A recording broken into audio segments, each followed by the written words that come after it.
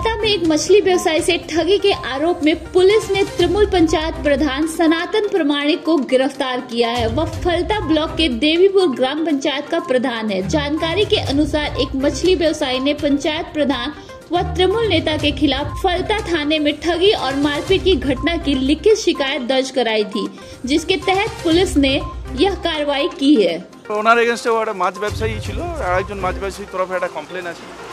কমপ্লেনের gravity আছে সেই অনুযায়ী আমরা আজ পারল অ্যাকশন নিই প্রধান বা ওই ব্যাপারটা ব্যাপার না।